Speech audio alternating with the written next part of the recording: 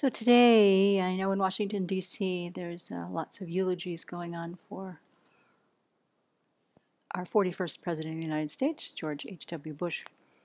Um, and today I want to do a kind of a, of kind of a eulogy too for a completely different sort of character.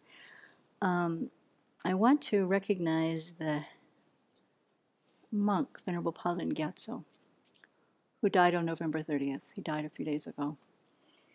Um, there's no big story about him on the Lion's Roar. I'm quite surprised, um, or any big, you know, newspaper. But he um, was an extraordinary being, and he had a very particular effect on my life personally. He says here he claimed he had no claims to being an ordinary monk.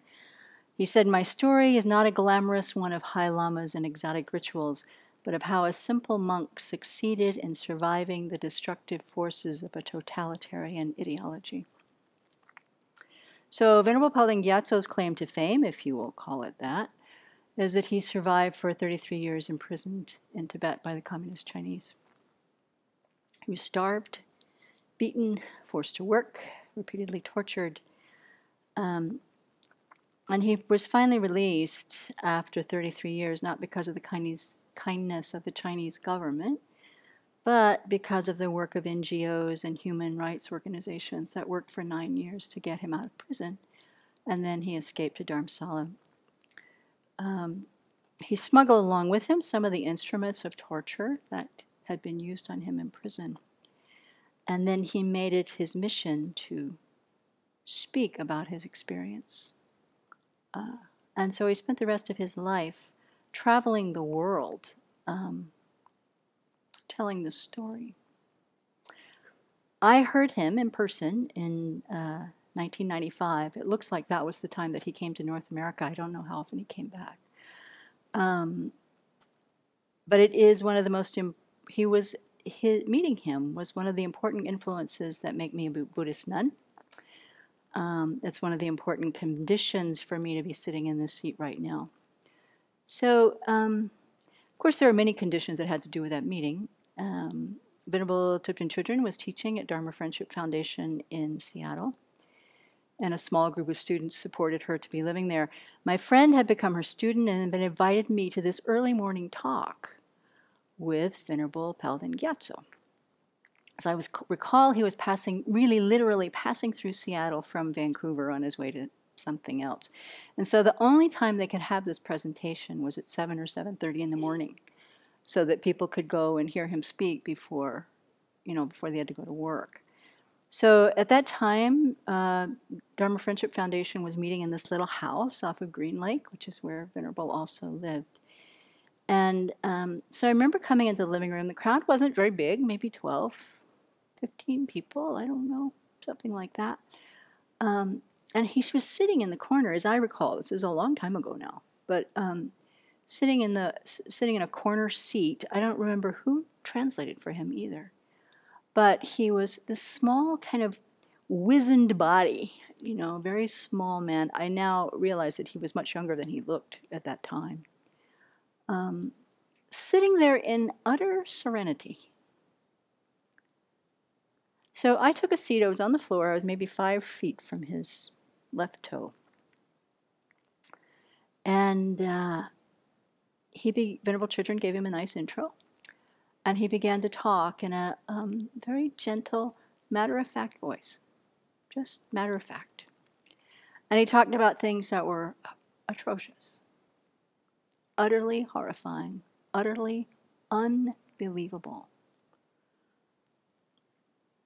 It all started when um, a day in 1959 when the um, Chinese had had already invaded and they had um, had invited the Dalai Lama, His Holiness, to come to a um, dance troupe performance. They had said, Don't bring any guards, don't bring any people, you must come alone.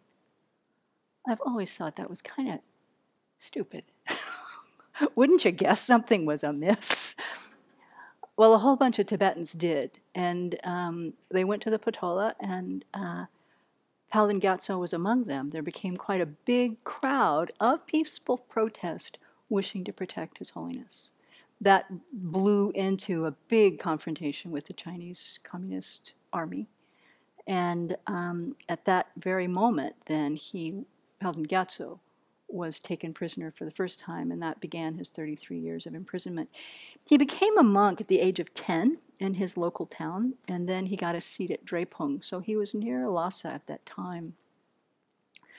Um, and he said that he wasn't really a scholarly monk, he'd only really been able to study for eight years. But it was the Dharma that supported him throughout this whole 33 years of his life. He talked about the starvation. Uh, this story, I just saw this story that so was vivid in my mind. He said that from 61 to 63, there was a big famine in Tibet. So, of course, the prisoners were starved too. He said some of the prisoners would eat the bones of dead rats or insects that they found in the field. I soaked my leather boots in water and began to chew on them. And soon there was nothing left. He said, I would say 75%, 70% of the prisoners died during that time. He talked about having witnessed numerous executions. He talked about the work, um, work field, you know, working in the fields. He said we had to work like animals. We were treated like animals. So we, we worked um, he talked about being tortured numerous times, not just beatings, but with electric batons, being stripped naked, electric cattle prods being used all over the body, including in your mouth. The nuns, he said, were raped with the electric cattle, cattle prods. He lost all his teeth um, from the electric cattle prods in his mouth. Although he said in 1992, when he went to England, Amnesty International gave him dentures so, for the first time. So the stories were vivid. His pain about them was so tangible. I mean, clearly. And yet, sitting just a few feet from this man, the wave, the aura of love about him was it was palpable. It was so there was such a huge disconnect between the things he was saying, the stories he was telling. You knew they were coming from his bones, they were so true. And yet, there was absolutely not a shred of anger, not a shred of hatred. Course, he was speaking Tibetan, so I didn't, you know, I couldn't get the words exactly, but you could hear it in his voice. It was just such a matter of fact presentation. So when he was speaking, he, he basically said the same thing. He was not there to teach bodhicitta. He was there to tell the story of what was happening with the Chinese communist occupation of the Tibetan people, to let the world know so that the Tibetan people could be freed. But then I'm quoting from an Oslo Freedom Forum statement that he made in 2009. But he basically said the same thing at this little talk at Seattle in 1995. 1995. I don't feel hatred toward the Chinese. I don't feel like I want to seek revenge. I'm still alive. I didn't die. I don't feel angry at all towards the Chinese. I want to make this very clear because even though I'm a novice in terms of Buddhist studies and practice, even from the basics of Buddhism, I know about the principle of compassion. So I think there's no point in feeling angry or hatred toward the Chinese government for the way they treated me. I cannot respond to negative actions with my own negative actions. This will not be of benefit to anybody. This will only lead to more negative actions lead to disagreements and to fighting. So, this is just my point of view, my experience, the way I think from basic Buddhist principles. It's not something I'm just saying. I really feel it's important to not to feel hatred, not to feel anger. After 33 years of suffering, 33 years in prison, that's what I've been able to learn. I was able to practice my religion. So, in my own Dharma practice, you know, sometimes I really try to make myself reflect on horrible conditions like this. Just to, I don't really want to do this, but I kind of make myself, you know, if I were in a situation like this, how would I be? How would my practice be? Or, um, you know, when we were um, celebrating, we were commemorating last, a few weeks ago, people went to the synagogue, to the, to, you know, we were talking again about the um, Holocaust survivor in her, her talk. You know, if I had been herded onto that train and then you know taken into the Nazi concentration camps, how would my mind have been? If I had been interned as a Japanese American, how would my mind have been? If I was a black mother today and my child was shot for no good reason in the back, how would I feel today? You know, how how would I feel? How could I apply my practice to that situation? So at the end of Palden Gyatso's talk, what I remember is if this spiritual practice can do that to that man, I need to know what it is.